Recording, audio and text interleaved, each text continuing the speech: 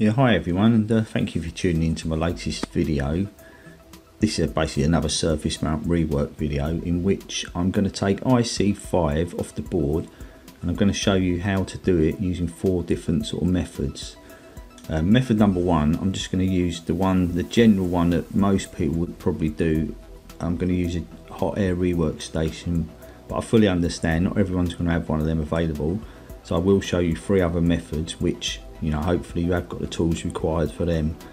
So yeah what we do we get straight on with method one. So like I say I'm going to use a hot air rework station for this.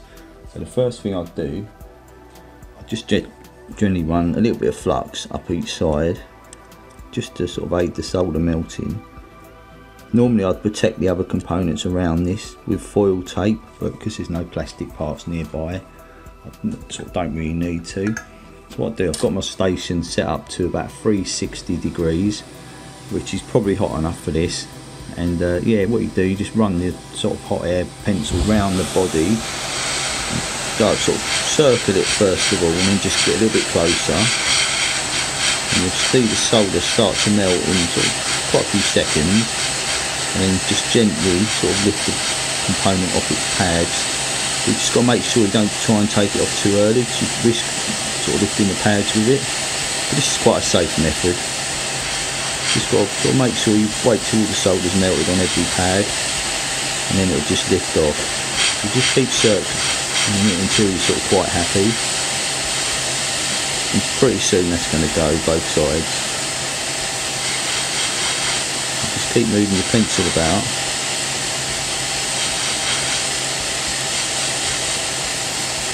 Any minute now it's going to go.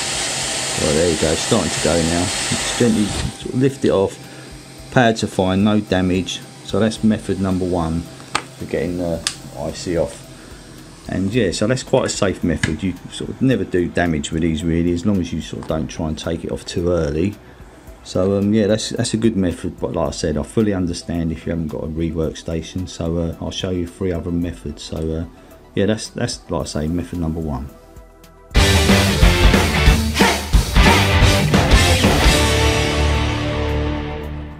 Hi again, so yeah, method number two, um, what I'm going to do here, I'm going to cut the legs, um, which obviously if you don't need the IC, it's not a problem.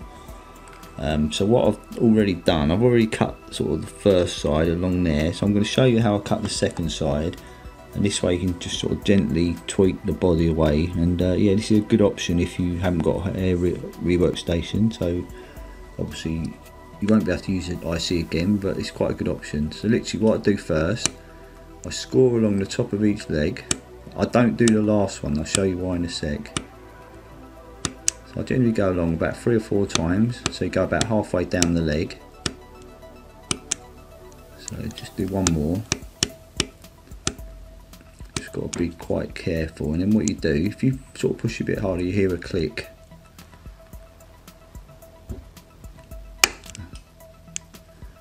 Got to be careful. You've got the protection of the leg next to it, sort of stopping the blade going too low.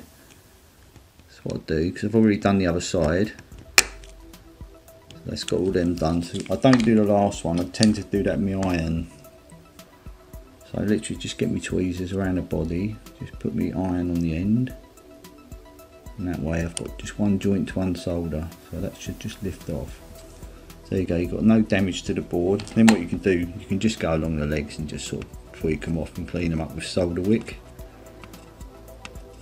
You can just do that on all of them and uh, so yeah that's quite a good option cutting the body off and you can do this option with four-sided quad flat packs no matter how many pins as long as you're quite careful so like I say just sort of score along the top about three or four times about halfway down and then you've got the protection when you're sort of using the blade of the next leg.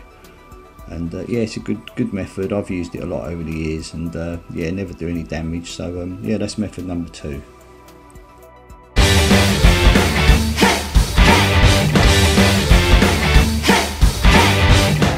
Right, so now we come on to option number three. Uh, this is where literally I just tweak up each leg sort of just by putting my tweezers under the leg I lift it up about half a mil to a millimetre and then what I do I go along and wick off all the solder So I've got all these sort of lifted but I don't lift that last one. I've already lifted these just for the sake of the video. So what I'm going to do, I'll show you how I lift the pins and then I'll wick off the solder. And then literally you've only got one joint to sort of undo at the end. So just run a little bit of flux along. So I've sort of preloaded my iron with a bit of solder. So what I'll do now, just put my iron on that end joint. I'll get my tweezers under the sort of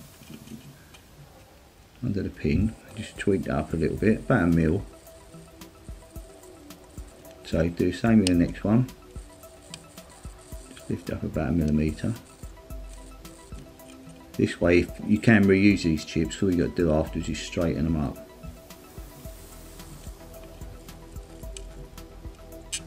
So you just get your tweezers under. Don't go too high, otherwise the chip will be sort of unusable again.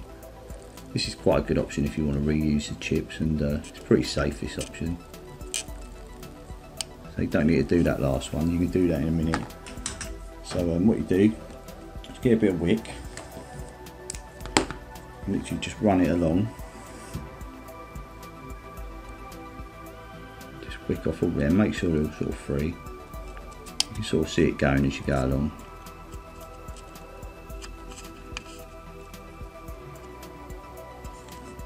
Make sure they're all loose before I try and do the last one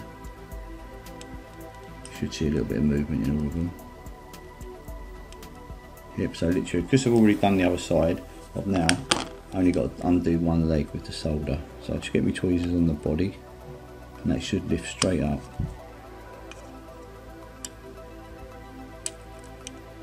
there you go.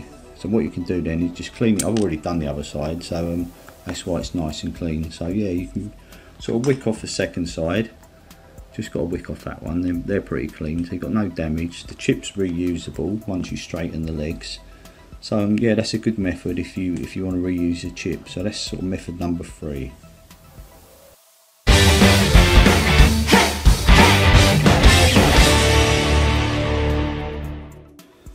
Right, so finally we move on to method number four.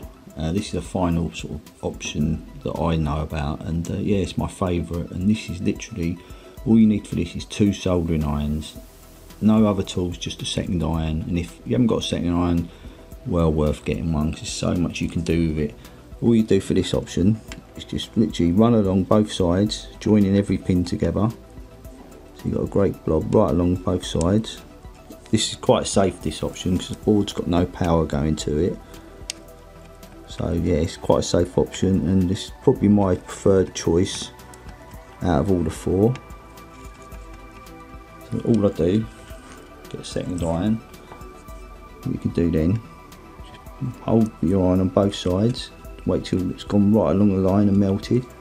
I tend to turn it on its side, sort of hold it there. And I get my tweezers and just sort of grab that the IC body and just remelt the second side and just take the excess away. And then like say afterwards you can just go along it with wick and get the excess solder off. But this is a really really safe option for two-sided ICs and in general second iron is a great option for taking off resistors, tants and uh, all sorts of sort of bigger two-sided components. In fact I'll probably do a video on the, the uses of two irons one day because it's really really good so well worth getting another one. So there you go. Got a lovely clean board with no damage and that is definitely that's probably my preferred option. So yeah out of four methods i hope there's something useful for all of you and uh, yeah thanks for looking in and much appreciated. And yeah there's a subscribe link on the on the screen so if you like what you saw today um, yeah please hit the subscribe and uh, I'll put a few more videos up. And yeah until next time thank you for looking in and uh, yeah bye for now